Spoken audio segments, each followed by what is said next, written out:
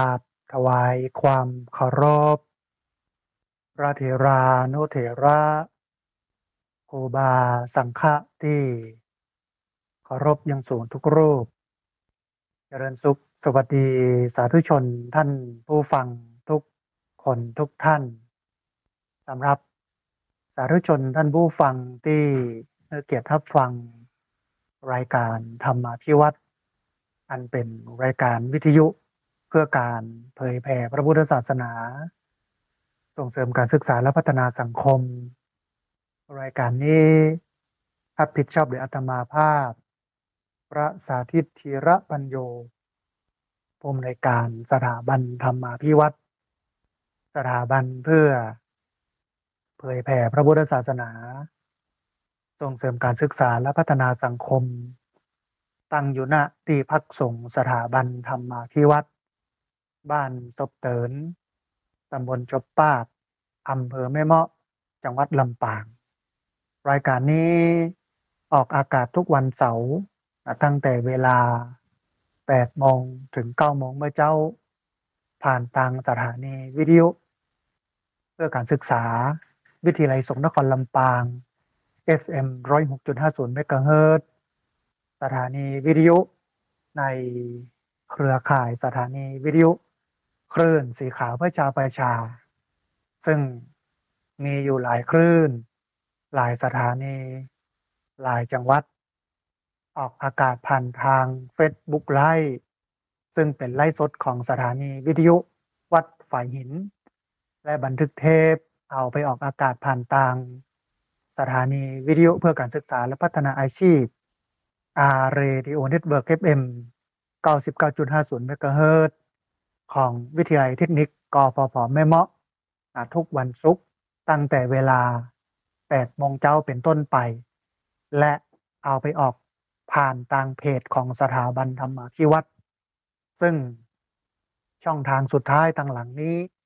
ก็คือเพจของสถาบันธรรมาภิวัตรท่านผู้ฟังสามารถไปติดตามรับฟังย้อนหลัง ไปก๊อปปี้ลิงก์ไปคัดลอกลิงก์ ส่งแชร์เอาไปให้กับญาติธรรมทั้งหลาย เออ ได้ยินได้ฟังกันได้แถมตัวท่านผู้ชมท่านผู้ฟังในช่วงนี้เป็นช่วงโอกาสแห่งบุญที่หลายผู้หลายคนก็เริ่มมีการนำเตียนเข้าพรรษา ไปถวายตามวัดวาอารามต่างๆนะซึ่งก็เป็นวัฒนธรรมประเพณีของไทยที่สืบเนื่องสืบต่อมาจากพระพุทธศาสนานะครับ วิทยาลัยสงฆ์นครลำปางมหาวิทยาลัย มหาจุฬาลงกรณราชวิทยาลัย เปิ้นก็มีกิจกรรมทำบุญทอดผ้าป่า ถวายเทียนเข้าพรรษาจำนวนเก้าวัดในปี 2567 นะตามโครงการอนุรักษ์ สืบสารประเพณี ส่งเสริมพระพุทธศาสนา ศิลปะ วัฒนธรรมและก็ภูมิปัญญาท้องถิ่นนะฮะ ปิลจะมีการอ่าหล่อเตียนนะการถวายเตียนกันนะในวันอาทิตย์ที่ 14 กรกฎาคมนะพุทธศักราช 2567นะเวลา 9 โมงเป็นต้นไปก็คือในวันพรุ่งนี้นะฮะเพราะฉะนั้นท่านผู้ชมท่านผู้ฟังท่านใดที่มีเวลาก็ได้ไปร่วมบุญร่วมกุศลกัน ร่วมกันรอเตียนร่วมกันถวายเตียนเพิ่นจะเริ่มกันตั้งแต่ 9โมงเป็นต้นไปนะฮะสำหรับท่านผู้ฟังที่มาได้ไป ก็สามารถร่วมทำบุญได้ที่ธนาคารกรุงไทย เลขบัญชี 503 601 799นะฮะหมายเลขบัญชี 503 606 1799นะชื่อบัญชีทุนการศึกษา พัฒนานิสิตวสลำปางนะอันนี้ก็เป็นช่องทางในการร่วมทำบุญในการหล่อเตียนเข้าพรรษาในปีนี้สำหรับท่านผู้ฟังที่ติดตามรับฟังรายการอยู่นะฮะท่านผู้ฟังในช่วงวันนี้ก็จะได้อู้เอ่ยกันถึงเรื่องหลักการของพระพุทธศาสนา แล้วก็จะเอาเหตุการณ์ที่เกิดขึ้นเนี่ยมาตีความ มาเชื่อมโยงเข้ากับหลักการของพุทธศาสนา ถ้ามันตรงกับหลักการของพุทธศาสนา นั่นก็แสดงว่า ประเพณีวัฒนธรรมที่เรากำลังทำกันอยู่เนี่ย อ่า มันก็สอดคล้องกับเรื่องของพุทธศาสนา แต่ถ้ามันบ่สอดคล้องมันก็บ่ได้เป็นเรื่องของพระพุทธศาสนานะฮะหลักการของพุทธศาสนาเนี่ยท่านผู้ฟังเปิ้นมุ่งไปที่ ไตรสิกขา ซึ่งก็มีอยู่สามตัว อันหนึ่งก็คือศีลอันที่สองคือสมาธิ อันที่สามก็คือปัญญา นั่นหมายความว่าในการจัดกิจกรรมทางวัฒนธรรมประเพณีอันอย่างก็แล้วแต่เนี่ย มันต้องเกื้อกูลให้สามอย่างนี้เกิดขึ้น หรือทำให้เฮานั้นไปเดินบนฐาน หรือว่าเดินบน บาดฐานของหลักการนี้ก็คือหลักการของศีลหลักการของสมาธิ แล้วก็หลักการของปัญญา ถ้าอันไหนที่มันบ่เข้ากันกับหลักการ มันตรงกันข้ามนะแสดงว่ามันก็บ่ใช่พุทธนะเพราะว่ามันบ่ได้เป็นไปตามหลักการที่ว่านี้นะฮะทีนี้ท่านผู้ชมท่านผู้ฟังศีลสมาธิปัญญาเนี่ย อ่า ขยายทับนี้เลยแล้วก็ เดี๋ยวเฮาก็มาเทียบเคียงเอาวัฒนธรรมประเพณีมาใส่ทับนี้นะฮะศีลสาระสำคัญของศีลเนี่ยคือการบ่เบียดเบียนตัวเก่า แล้วก็การบ่เบียดเบียนคนอื่น นั่นหมายความว่าถ้าเฮารักษาศีลก็ดีเนี่ยเฮาก็ชื่อว่าได้เป็นผู้รักษาตัวเอง แล้วก็ผู้รักษาคนอื่น เพราะว่าเฮาบ่ไปเบียดเบียนตัวเก่าเฮาไปเบียดเบียนคนอื่น ลองมาดูมิติของศีลท่านผู้ฟัง อย่างน้อยเอาเบื้องต้นเนี่ยก็คือศีลห้าหนึ่งงดเว้นจากการฆ่าสัตว์ ถ้าเฮาบ่ฆ่าสัตว์เนี่ย การเบียดเบียนชีวิต เบียดเบียนความปลอดภัยของคนอื่นหรือของตัวเองเนี่ยมันก็บ่มีนะฮะแต่ว่าด้วยความจำเป็นของมนุษย์ มนุษย์ต้องมีชีวิต มนุษย์ต้องบริโภค มนุษย์ต้องกิน ในการกินก็ต้องครบ ห้าหมู่ครบองค์ประกอบของการกินไม่ว่าจะเป็นพักไม่ว่าจะเป็นจีนไม่ว่าจะเป็นอย่างอื่นอ่าที่เป็นองค์ประกอบของอาหาร ทีนี้ถามว่าถ้าเอาค่าเพื่อกินเนี่ย มันจะบาปกว่าฮะเพราะว่ามันใช้เลี้ยงชีพท่านผู้ฟังขึ้นชื่อว่าการฆ่าเนี่ย มันบาปแน่นอน แต่ว่ามันจะบาปนักบาปน้อยก็ขึ้นอยู่ที่เจตนาของผู้ฆ่า แต่ถ้าว่าถ้าฆ่าโดยที่มีเจตนาโลภมีเจตนาโคดมีเจตนาหลงนะฮะฆ่าโดยที่เอาเป็นความสนุกสนานเพลิดเพลินบ่ได้ไปกินเอาไปจ่ายอะไรอย่างบ่ใช่มีความจำเป็นอะไรอย่างที่จะต้องฆ่า อัตราของบาปของโทษเนี่ยมันก็จะสูง แต่ว่าถ้าฆ่าด้วยความจำเป็น เอามาเลี้ยงชีพอัตราของบาป มันก็ต่ำลงมา แต่ อย่าได้กระตึงบาปนะเพราะชื่อว่าฆ่านะฮะอันเนี้ยพระเจ้าเองพยายามรณรงค์นะให้พระสงฆ์หรือพุทธศาสนิกชนเนี่ยงดเว้นจากการฆ่าสัตว์นะแต่ว่าบ่ได้บัญญัติให้ไปกินเจนะฮะบ่ได้บัญญัติว่าบ่ให้บริโภคเนื้อสัตว์ แต่เนื้อสัตว์ที่บ่ให้บริโภค เพราะว่ามันจะเป็นอันตรายต่อคนไปเสาะหา ต่อผู้กินเนี่ย มันก็มีเนื้อที่พระเจ้าห้ามอยู่ แล้วก็พระเจ้าเองก็อนุญาตให้ภิกษุสงฆ์รับเนื้อหรือว่ารับจีน จากชาวบ้านได้ โดยมีหลักการก็คือ เปิ้นค่าของเปิ้น เอามากินในครอบครัวของเปิ้น แล้วก็เอามาอันเนี้ยกับข้าวกับป๋าใส่บาตรอันนี้รับได้คือบ่ได้ค่ามาเพื่อตัวเก่า อะบ่ได้ค่ามาเพื่อพระสงฆ์อ่าอย่างถ้าเป็นแม่แรงเนี่ยเฮาเดินไปในหมู่บ้านนี่เนาะแล้วมีคนเอิ้นว่าอัน ตะลุงวันพรุ่งนี้จะแกงแค่ไก่ไปสู่เนื้อกำลังบุบหัวอยู่เนี่ยนี่นะเอาเพื่อตุลุงโดยเฉพาะ อันนี้พระเจ้าก็บอกว่าห้ามครับ เพราะมันมันเป็นบาปหมายความว่าถ้าเปิ้นค่ากินกันในครอบครัวแล้วเปิ้นก็ เอากับข้าวนั้นมาแบ่งให้เฮาเนี่ยมาใส่บาตรหรือว่าเอามาถวายพระทหารเจ้าพระทหารเพลเนี่ยมันก็ไม่ได้เป็นเรื่องของบาปนะอันนี้ก็คือเรื่องของการฆ่านะฮะแต่ว่าในมิติการฆ่าเนี่ย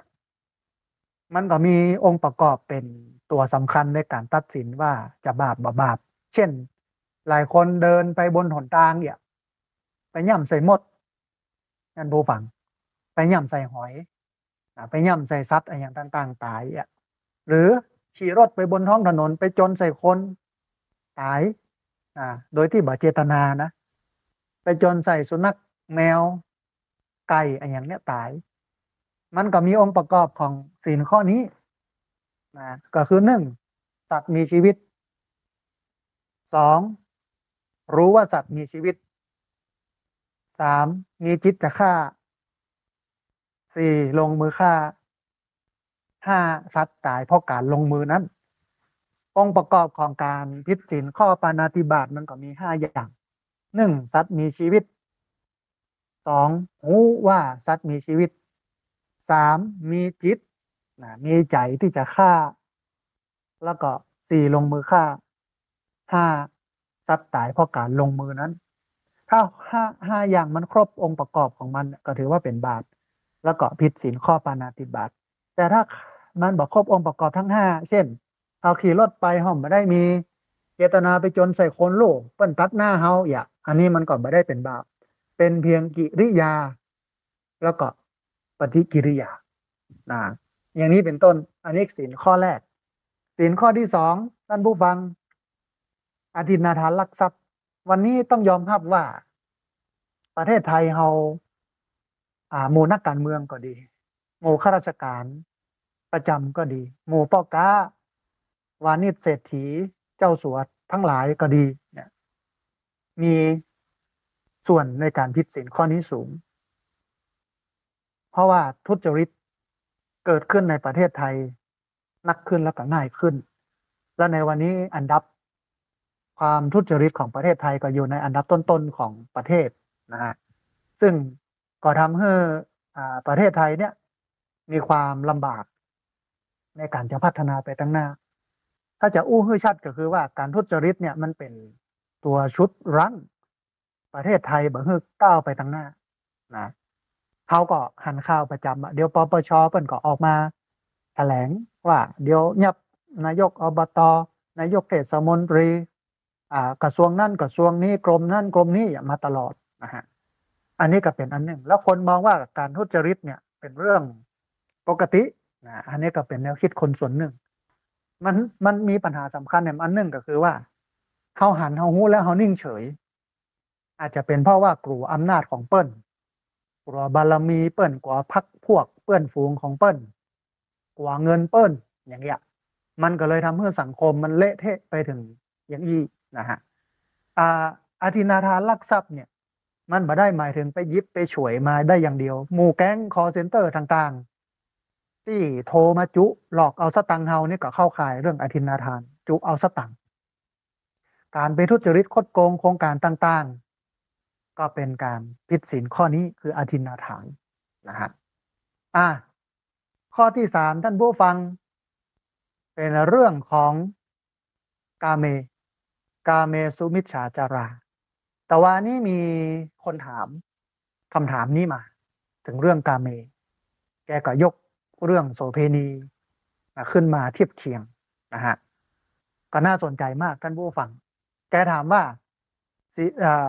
โสเพณีเนี่ยผิดศีลข้อนี้ก่อเนี่ยนะทีนี้ก่อนที่จะอู้เรื่องโสเพณีว่าผิดศีลข้อนี้ก่อนเนี่ยเราต้องมาพอศีลข้อกาเมก่อนศีลข้อกาเมเนี่ย ท่านผู้ฟัง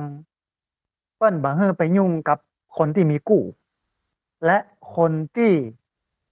บ่มีกู้ แต่อยู่ในความรับผิดชอบของของคน เช่น ของพ่อของแม่ ของปู่ย่าตายาย โดยละอ่อนคนนั้นไม่ได้บรรลุนิติภาวะ แต่ถ้าเปิ้นบรรลุนิติภาวะแล้ว ก็แหมเรื่องหนึ่งนะฮะเพราะฉะนั้นสินข้อกาเมเนี่ยมันก็จะรวมสองอย่างนี้ไว้ก็คือหนึ่งห้ามไปยุ่งกับคนที่เปิ้นมีกู้อยู่แล้ว หรือเฮามีกู้อยู่แล้ว ก็บอกควรไปยุ่งกับคนอื่น ถึงแม้ว่า คนอื่นเปิ้นจะบ่มีกู้ และก็ห้ามไปยุ่งกับคนที่เปิ้นมีผู้ปกครอง ที่เปิ้นบ่ได้บรรลุนิติภาวะ นะเป็นละอ่อนอยู่บ่สามารถที่จะใช้วิจารณญาณของตัวเอง แยกแยะผิดทุกผิดทุกอ่าผิดถูกดีชั่วได้นะฮะทีนี้โสเพณีโสเภณีนี้ท่านผู้ฟังมีมาตั้งแต่ในสมัยพุทธกาลแล้วก็ในสมัยพุทธกาลนั้นโสเภณีนั้นมีตำแหน่งสูงส่งมาก เป็นหน้าเป็นตาของสังคมเลยนะ เอาไว้ต้อนรับแขกบ้านแขกเมืองโสเภณีนะในอินเดียโบราณอ่าแต่ว่ายุคสมัย ผ่านมาเรื่อยๆโสเภณีก็ถูกอดีดออกไปอยู่นอกระบบ แล้วก็มองว่าเป็นคนบดี เป็นคนต่ำซาม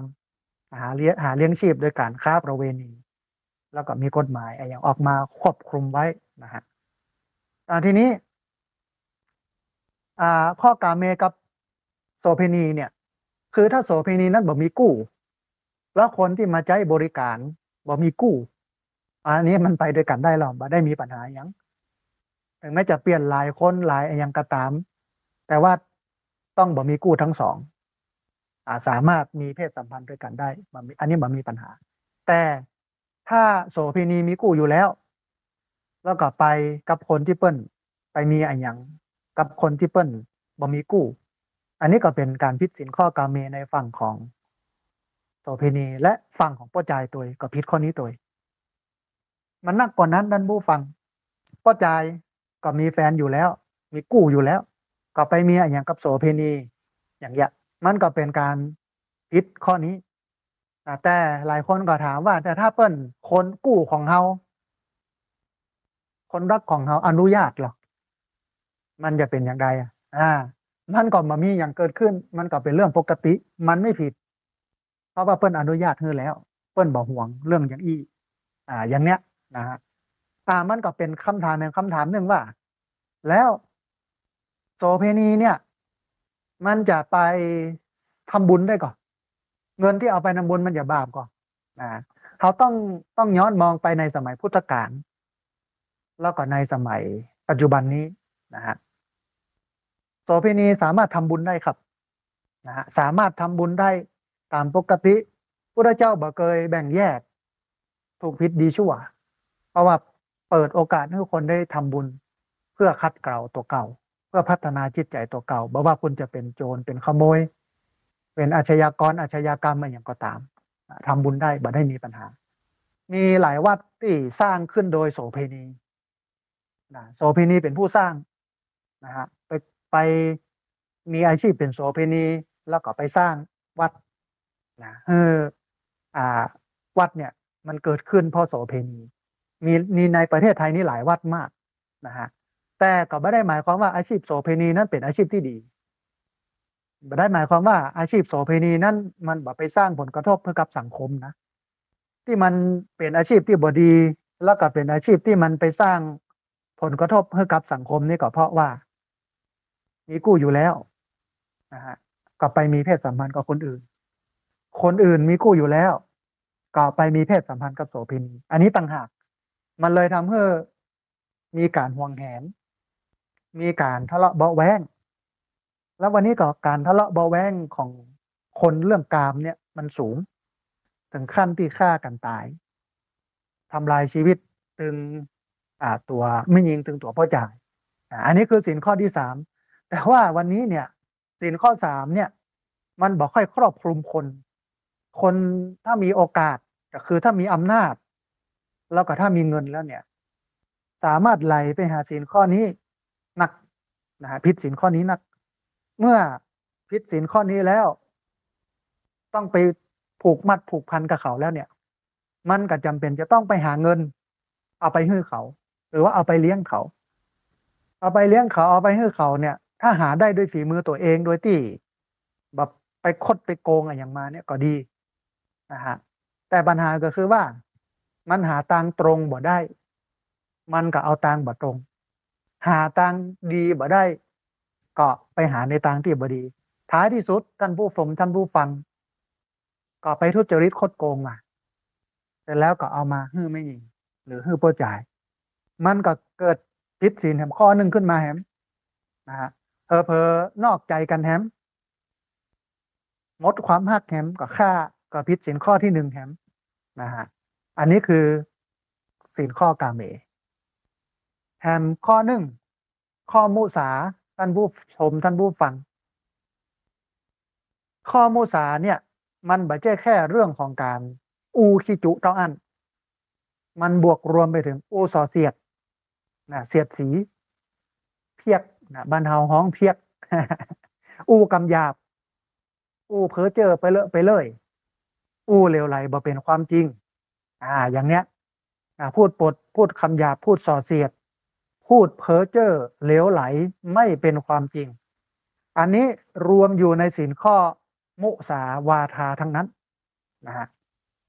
พุทธศาสนาพยายามบังเฮอเฮาใจกำอู้ไปเสียดแทงไข่พุทธเจ้ายกว่ากำอู้นั้นมันเหมือนกับหอก มันเหมือนกับดาบ เวลาเขาอู้บดี เวลาเขาอู้สอดเสียดอูคำหยาบอูเพ้อเจอเร็วไรบ่เป็นความจริงแล้วเนี่ย มันจะไปเสียดแทง คนที่รับฟังคำอูอูของเขา มันจะทำให้เกิดความตุกอกตุกใจเจ็บอกเจ็บใจบ่ม่วนอกบ่ม่วนใจนะฮะอันนี้ก็เป็นส่วนหนึ่ง อันนี้คือเรื่องของกำอู แล้วสินข้อสุดท้าย เรื่องสุรา ไอ้สินข้อสุดท้ายเนี่ย มันบ่ได้แค่เรื่องของเหล้าอย่างเดียวนะสุราก็คือเหล้าต้มนะเหล้าต้มทั้งหลาย เมรัยก็คือเหล้ามักเป็นเบียร์เป็นไวน์มัชชะทำให้มึนเมาอ่าทำให้ประมาทมึนเมา ก็เป็นพวกยาเสพติดต่างๆ ยาบ้า ยาไอซ์เฮโรอีนฝิ่นกัญชาเหล่านี้ทั้งหมด รวมอยู่ในนี้ แต่ว่าในบรรดาสินเนี่ยท่านผู้ฟังสินข้อที่ห้านี่สำคัญที่สุด ถ้าพิษสินข้อห้าแล้วก็ สามารถพิษสินข้ออื่น ๆ ได้โดยง่าย เพราะว่าสติมันบ่มีหรอกทำไปโดยที่ไม่มีสติ ก็สามารถพิษสินข้ออื่น ๆ ได้ อันนี้คือศีลทั้งห้าข้อ ซึ่งศีลห้าข้อเนี่ย มันเป็นมนุษยธรรมท่านผู้ท่านผู้ฟัง เป็นธรรมะของมนุษย์ ใครที่อยากเป็นมนุษย์อะก็ต้องสื่อศีลห้าขึ้นแน่น เพราะว่าสัตว์เดรัจฉานนี่มันบอกหูความรู้เนาะบอกหูเหนือหูใต้มันแค่กินไหนก็กิน กินอะไรยังก็กิน มันใครนอนที่ไหนก็นอน มันใครนั่งที่ไหนก็นั่ง ขออภัยท่านผู้ฟัง มันใครผสมพันธุ์กันที่ไหน มันก็ผสมพันธุ์กันไม่ว่าจะเป็นข้างวิหารหน้าวัดหน้าวาหน้าพระพุทธรูปหันมดนะที่อื่นที่ไก่แต่ถ้าเป็นมนุษย์อะ มันก็มีฮิริ ความละอายแก่ใจ โอตปะความเกรงกลัวต่อบาปนะมันก็หูจักกาละเทสะนะอันนี้คือศีลฮะศีลทั้งห้าเนี่ย มันนำมาซึ่งการบาเบียดเบียนตัวเอง แล้วก็บาเบียดเบียนผู้อื่น อันนี้ก็คือศีลซึ่งเป็นเสาหลักอันหนึ่งของพระพุทธศาสนา อันที่สองสมาธิท่านผู้ฟัง สมาธิแปลว่าความตั้งมั่น สมาธิแปลว่าความแนบแน่น ถ้าจิตเฮาตั้งมั่น จิตเฮาแนบแน่นอยู่กับ สิ่งใดสิ่งหนึ่งมันเมินเนี่ย สมาธิมันก็เกิดขึ้น สมาธิมีสามระดับ ระดับเล็ก ระดับกลาง แล้วก็ระดับสูง ระดับเล็กระดับน้อยเนี่ย ก็เป็นเพราะว่าคณิกะสมาธิ ระดับกลางเนี่ยก็คืออุปจารสมาธิ ก็คือสมาธิที่ใกล้จะเป็นสมาธิแล้วอุปะแปลว่าเข้าไปใกล้มั่น แล้วก็อัปปนาสมาธิก็คือสมาธิแนบแน่น สาระสำคัญของการฝึกสมาธิก็คือทำให้ใจมั่นคงทำให้ใจนักแน่นทำให้ใจบางงอนแง่นคอนแคน เหมือนกับไม้ลัก ปักขี้ขี้โคลนที่มันเอ็นไปเอ็นมาสองสมาธินั้นมันเป็นเรื่องของความสุข โดยเฉพาะสุขใจ ราะว่าคนที่มีสมาธิเนี่ยจะสุขใจเย็นใจอิ่มใจสบายใจนะฮะอ่ามันมีกรรมคมของคนมาเก่านะที่เบิ้ลบอกว่าสุขทางโลกมีได้ชั่วคราว อยากสุขยืนยาวต้องเข้าหาธรรม คนที่ได้ฝึกสมาธิเนี่ย เมื่อได้มีสมาธิแล้วแล้วเกิดปิติความอิ่มใจ เกิดปราโมทความยินดีความพอใจ มันจะเป็นความสุขที่เหนือจาก โลก คือความสุขของโลกก็คือการกินการอยู่การอวดการรู้การนุ่งห่มแต่งกาย การใจลบหลู่อย่างโมนี้เทียบมาได้กับความสุขต่างธรรมเมื่อเราได้เจอสมาธิเมื่อได้เจอสมาธิแล้วมันจะเย็นสงบสบายบางคนนี่ท่านผู้ชมท่านผู้ฟังบักกินเข้าเลยนะนะเพราะว่าจิตใจสุขสงบร่มเย็น อันนี้คือสมาธิ สาระสำคัญของสมาธิคือการทำใจให้มั่นคงทำใจนักแน่นทำใจให้สุขสงบนะฮะแถมส่วนหนึ่ง เป็นส่วนสุดท้าย หรือว่าเป็นอันสุดท้ายของพุทธศาสนาก็คือปัญญา จะอู้ไปนักว่าปัญญาคือหูเรื่องนั้นเรื่องนี้เรื่องโน้น มันก็เป็นเป็นปัญญาทางโลก แต่ถ้าเป็นปัญญาทางธรรมท่านผู้ฟัง เปิ้นชี้ไปที่การเห็นไตรลักษณ์การเห็นไตรลักษณ์เนี่ยคือการเกิดปัญญาทางธรรม เพราะเห็นไตรลักษณ์ก็คือหนึ่งอนิจจังความบ่มั่นบ่เที่ยงสองตุกขังความทนอยู่ในสภาพเดิมได้ยากสามอนัตตาบัจเจตัวบัจเจตนบ่สามารถที่จะบังคับบัญชาได้ หรือแหมในหนึ่งก็คือหันการเกิดขึ้นหันการตั้งอยู่ หันการดับไปของทรัพย์สิ่งบนโลกนี้ทั้งตัวเฮาและก็ตัวคนอื่น มันก็ทำให้เกิดความเข้าใจในเชิงปัญญาว่า อ๋อ มันมามีอะไรอย่างเฮ้ยยึดเฮ้ยยึดเฮ้ยถือเลยนี่มามีอะไรอย่างเป็นตัวเป็นตินเป็นกิ้มเป็นก้อม ที่จะเอามายึดถือว่าเป็นตัวเฮาว่าเป็นของของเฮา มันล้วนเป็นองค์ประกอบของธาตุทั้งสี่ของไอ้ยังต่าง ๆ มารวมตัวกันเท่านั้น มื่อมีไอ้ยังจะฮือนายึดถือเลยบัจเจ้ของแต่โรนี่ ของปลอม โลกนี้เป็นอย่างอี้สัจธรรมมันเป็นอย่างนั้น คนเข้าใจสัจธรรมอย่างนี้ ก็นำไปสู่การปล่อยวางไม่ยึดถือ เพราะยึดไว้ก็หนัก กักไว้ก็ทุกข์ปล่อยวางว่างเว้นจึงเป็นสุขนะยึดไว้ก็หนัก กักไว้ก็ทุกข์ปล่อยวางว่างเว้นจึงเป็นสุข เปิ้นก็เลยมีความสุขข้อมีปัญญาเข้าใจโลก หันไตลักหันการเกิดขึ้นตั้งอยู่ดับไป หันอนิจจังความบ่มั่นบ่เที่ยง หันตุกขังความทนอยู่ในสภาพเดิมได้ยากหันอนัตตาความบัจเจตัวบัจเจตนบ่สามารถที่จะบังคับบัญชาได้ ก็นำไปสู่การปล่อยวางนำไปสู่การบ่ยึดถือนะฮะนำไปสู่การลุดพ้นจากกิเลสปัญหาทั้งหลายทั้งปวงนะอันนี้ก็คือ ปัญญานะฮะทีนี้ท่านผู้ชมท่านผู้ฟัง เวลาเราจัดกิจกรรม ที่เกี่ยวกับพุทธศาสนา ที่เป็นห้องกันว่า พิธีกรรมเชิงพุทธไม่ว่าจะเป็นขึ้นบ้านใหม่ไม่ว่าจะเป็นงานแต่ง งานทำบุญบ้าน งานบวชงานศพงานอะไรอย่างก็แล้วแต่ที่เกี่ยวข้องกับพุทธศาสนาเขาจำเป็นต้องเอาหลักการสามอย่างเนี้ย มาวางเป็นลัก แล้วเมื่อเราเดินบนหลักการนี้ จะไปเอาอย่างอื่นเข้ามาสูนมาใส่ท่านผู้ฟัง มันจะทำให้เฮาบ่ได้ฝึกหัดคัดกล่าวตามลักศีลสมาธิปัญญา เพราะว่าการฝึกหัดคัดกล่าวตามลักของศีลสมาธิปัญญาเนี่ยมันนำไปสู่การพ้นจากทุกข์มันเป็นทางของพุทธศาสนา ที่เปิ้นฮ้องกันว่า Buddhist way of right เป็นทางพุทธเป็นแนวทางของพุทธเป็นวิถีพุทธ นะฮะแต่ถ้าเขาจัดงานขึ้นบ้านใหม่ งานแต่งงาน งานศพงานทำบุญบ้าน โดยที่บ่ได้คำนึงถึง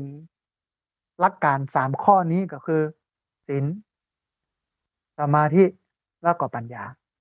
เอาเข้าเอาเข้างานที่เขาจัดเนี่ยแทนที่จะได้บุญตามหลักการของพุทธศาสนากลับกลายเป็นได้บาป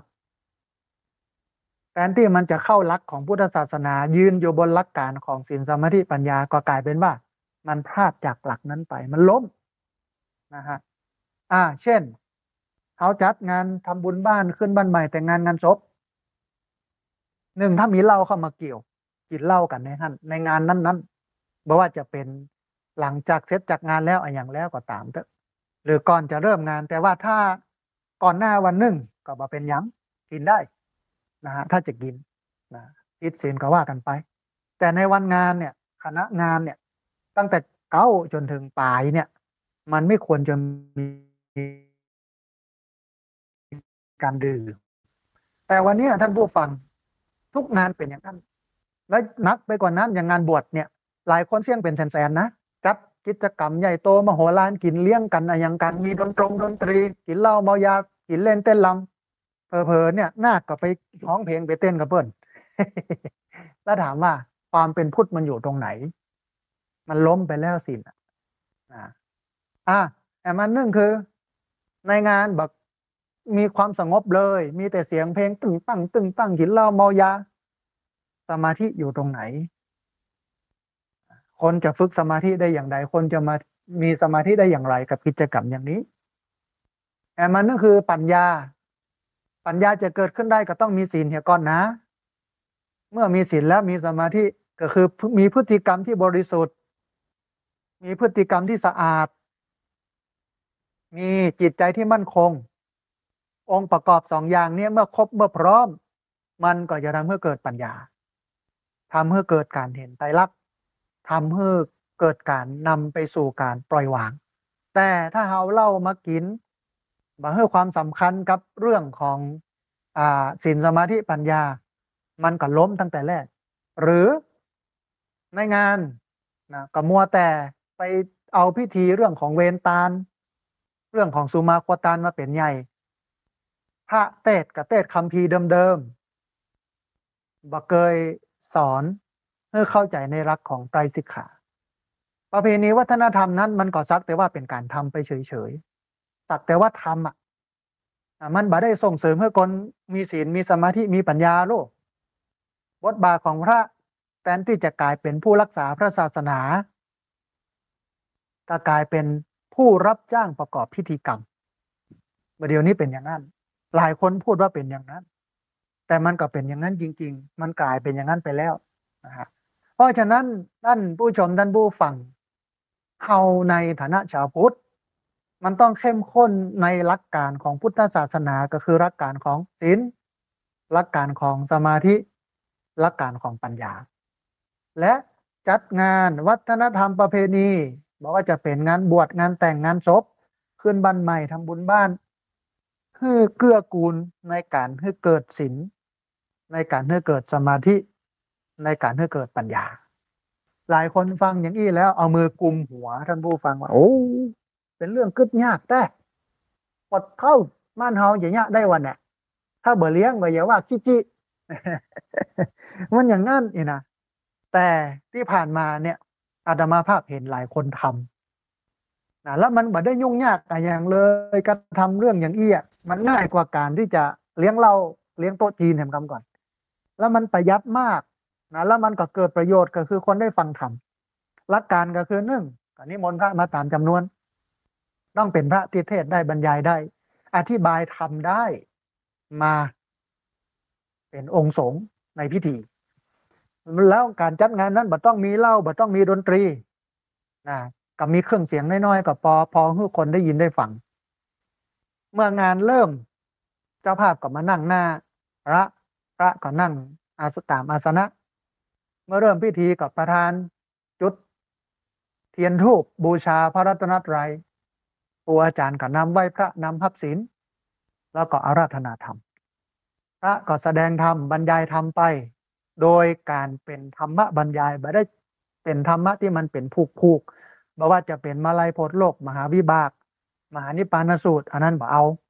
หรือจะเอาก็ได้แต่ต้องแปลให้เกิดความเข้าใจให้ง่ายขึ้นกว่าเดิมนะฮะอะเนี่ยไป หลังจากเอ็ดเสร็จแล้ว ก็มีการถวายสังฆทานถวายของถวายครัวถวายของถวายครัวเสร็จแล้วถ้ามันมีเวลาก็สวดมนต์เห็นน้อยนึงแต่จะให้ดีต้องสวดแปลให้คนเข้าใจอ่าให้คนเข้าใจ หลังจากนั้นก็ถวายเพลทับศีลทับปอนญาติโยมหลังจากอ่าเปิ้นถวายเพลเรียบร้อยก็ไปกินข้าวกินข้าวแล้วก็แยก เก็บ ปัดจัดถูงาน เต็นโต๊ะเก้าอี้ให้เรียบร้อยก็จบงาน มันบ่มีสิ่งที่มันเป็นอกุศล สิ่งที่มันเป็นบาปเข้ามาในพิธีนั้นเลย แต่วันนี้เขาหัน หันทุกงาน หันงาน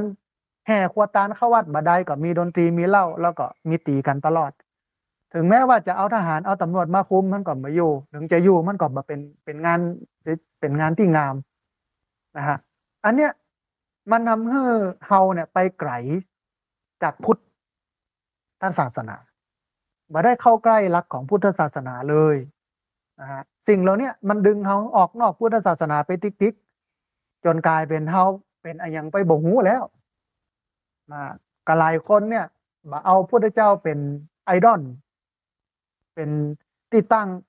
ในเรื่องของการมาฝึกตัวเก่ามองพระว่าเป็นผู้ดลบันดาล พระพระเจ้าในวิหาร พระพุทธรูปในวิหาร เป็นผู้ดลบันดาลให้เกิดความสุขความตุกข์ เอาอันอย่างไปบนเอาดอกไม้ถูกเทียนไปอธิษฐานไปขอ มันบัดใจมันผิดหลักการของพุทธศาสนา พุทธศาสนาเป็นศาสนาอะเทวนิยมบนิยมเทพบนิยมสิ่งศักดิ์สิทธิ์อิทธิฤทธิปฏิหารดลบันดาล ใด ๆ ทั้งสิ้น หลักการมันผิดไปแล้วอะนะฮะคนก็ปฏิบัติผิดถึงวันนี้คนไปศรัทธาอะไรก็ไปศรัทธาพระที่ทำตัวเหมือนพราหมณ์ ไปศรัทธาพระที่ทำตัวเหมือนพราหมณ์ ก็คือเป็นผู้วิเศษอะแจกวัตถุมงคลของขลังเอี่ยคนชอบอย่างอันในตามสื่อต่างๆ ที่เราได้เห็นคนก็ป้ายอโลอตนเต็มไปหมด ได้มาก็มองว่ามันเป็นมงคลกับชีวิตจะเฮือร่ำรวยอารามาภาพก็กึดในใจว่าออกก็ได้มาแล้วก็ไปนอนวันค่ำโลก ถ้านอนวันค่ำนี่จะรวยได้อย่างใดอะ แต่ถ้ามาแล้วก็ขยันทำการทำงานมันก็รวย ถึงแม้ไม่ได้มา หรือไม่ได้ไปเอาวัตถุมงคลนั้นมา แต่ก็ขยันนะทำการทำงานน่ะสว่าหากินน่ะ อันนั้นก็รวยนะฮะเพราะฉะนั้นท่านผู้ฟังประเทศไทยเนี่ยมันพุทธศาสนาในประเทศไทยเนี่ย มันสเปะสปะ มันสับสนปนปี้นะฮะในวันก่อนเห็น เจ้าประคุณสมเด็จพระสังฆราช เพิ่นก็เป็นห่วง ว่าเดี๋ยวนี้มีการสอนพุทธศาสนา หรืออ้างพุทธศาสนาเอาไปสอนพิษๆกันนักกันหลาย บอกว่าจะเป็นเชื่อมจิตบอกว่าจะเป็นพลังบุญบอกว่าจะเป็นแก้กรรมอย่างโมเนี้ยนักหลายผู้หลายคนที่สอนอย่างอี้ทำอย่างอี้สมเด็จพระสังฆราชเพิ่อนก็แสดงความเป็นห่วงนะฮะก็เลยมีมติออกมาว่าสำนักปฏิบัติธรรมที่เป็นสำนักที่ขึ้นอยู่กับมหาเถรสมาคม หรือว่าสำนักงานพระพุทธศาสนาแห่งชาติจำเป็นอย่างนี้จะต้องอ่าพอกอย มันก็เกิดเรื่องเหล่านี้ขึ้นมาอันไหนถูกอันไหนผิด โดยถือเอาลักษณะมหาสติปัฏฐานสูตร ซึ่งเป็นอวิปัสสนากรรมฐานตามแนวสติปัฏฐานสี่เนี่ยมาใช้เป็นลักในการสอนผู้คนทั้งหลายนะฮะอันเนี้ยท่านผู้ฟัง แต่ถ้าเราช่วยกันรณรงค์กันตั้งแต่ต้น เพื่อคนเข้าใจหลักการของพุทธศาสนา เข้าใจเนื้อแท้ตัวแท้ของพุทธเนี่ย มันก็จะทำให้เอาบ่เหนื่อยกับการจะต้องไปแก้กับชาวพุทธด้วยกันเอง แน่นอนว่าพุทธศาสนาในประเทศไทยเนี่ยมันมีองค์ประกอบหลายอย่าง หรือว่ามันผสมผสานกับความเชื่อพื้นที่พื้นถิ่นมานาน ก่อนพุทธศาสนาจะเข้ามาเนี่ย ผีมันมาก่อนโลก คนนับถือผี นับถือผีมันก็เหมือนนับถือพระเจ้าอะ เพราะว่ามันตัวเดียวกันนะคือเจ็บเป็นเย็นไข้อย่างกระโตดผี ประสบความสำเร็จ สุขสบายก็โตดผีอย่านะมันก็เหมือนพระเจ้า อะ เพราะพระเจ้าเป็นผู้กำหนดทุกอย่าง อย่างนี้เป็นต้น หลังจากนั้นมาด้วยความที่ผีมันรุ่งเรือง พราหมณ์ก็เลยเข้ามาสวมแถมพราหมณ์กับผีนี่มันใกล้เคียงกันมากนะฮะมันใกล้เคียงกันเยอะก็เลยเข้ากันได้ง่าย แต่พอพูดมาเนี่ยกึ่งหนึ่งหรือแปดสิบเปอร์เซ็นก็ถูกดึงไปเป็นพราหมณ์เป็นผีเหมือนกันเลย เพราะกระแสพื้นที่พื้นถิ่นมันเป็นอย่างนั้นโลกก็เหลือสิบเปอร์เซ็นยี่สิบเปอร์เซ็นเนี่ยที่ยังคงรักการความเป็นพุทธอยู่ ความเป็นพุทธแท้อยู่นะฮะเพราะฉะนั้นท่านผู้ชมท่านผู้ฟัง มันก็มีคำถามที่ตั้งขึ้นมาว่า อุ้ยแล้วเฮาจะหูได้จะได้ว่าไอ้ยังเป็นพุทธไอ้ยังก็เป็นพุทธพุทธแท้พุทธเทียมไอ้ยังจะได้ยังได้เอียเกิดมันมันมีผลนะคือถ้าเป็นพุทธเทียม เป็นพุทธแบบพราหมณ์เป็นพุทธแบบผี เป็นพุทธแบบอิทธิฤทธิปฏิหารดนบันดาลไอ้ยังโมนี้เนี่ย มันจะทำให้ คนมาได้สนใจหลักการพุทธศาสนา แล้วปฏิบัติผิดต่อหลักการของพุทธศาสนา แต่ถ้าเขาเอาพุทธแท้ยึดเหตุและผล ยึดเรื่องการกระทำทำให้เกิดผลมันก็จะมีเรื่องของการลงมือทำมีความพยายาม มีความเพียรมาต้องไปรอไขมาดนบันดาล มันก็เป็นในมุมหนึ่งนะฮะแล้วพุทธอย่างเงี้ยมันก็จะเจริญก้าวหน้าอในประเทศไทยเนี่ยพระอาจารย์มองว่า ถึงแม้พระจะน้อยนะ เมื่อเทียบกับประชากรชาวพุทธ ตอนนี้มีอยู่สองแสนกว่ารูป ประชากรพุทธมีสี่สิบล้านนะหรืออาจจะน้อยกว่านั้นหรือมากกว่านั้นก็ตาม วันนี้พุทธในประเทศไทยมันพิการพิกลนะมองพุทธรูปเป็นสิ่งศักดิ์สิทธิ์ มองเจดีย์เป็นสิ่งศักดิ์สิทธิ์นะฮะอิทธิฤทธิปฏิหารย์ดลบันดาล เขาต้องปิกมาท่านผู้ฟังคืนสู่อ้อมกอดของพระพุทธเจ้า มันถึงจะทำให้เราเข้าใจพุทธได้นักขึ้น อันนี้ก็อู้ถึงหลักการของพุทธศาสนาก็คือไตรสิกขาสินสมาธิปัญญาให้ท่านผู้ชมท่านผู้ฟังได้ได้ชมได้ฟังกันนะฮะท่านผู้ชมท่านผู้ฟังเวลาเหลือแห่งประมาณสักสองนาที ก่อนที่จะเอารายการนี้จากลาท่านผู้ฟังไปเบื้องต้นต้องขออภัยที่เข้ารายการขวายนะเพราะว่าลองทดลองออกทางสตรีมยาดอ่าเสียงเพลงออกอยู่นะเป็นเพลงธรรมะเนี่ยออก แต่ปรากฏว่าเสียงอู้มันบอกออกท่านผู้ฟัง มันผิดระบบ เดียวกับคงอยากจะฮือละอ่อนมาช่วยกันแก้ มาช่วยกันพอว่ามันจะแก้ปัญหานี้ได้อย่างไรนะฮะเพื่อวันหน้าวันตาญาติโยมที่เปิ้นติดตามทาง Facebook ติดตามทางอินเทอร์เน็ตเนี่ยก็จะสามารถรับชมรับฟังได้ทั่วโลกนะฮะแต่ว่าสถานีวิทยุเนี่ยก็ได้ในโซนภาคเหนือ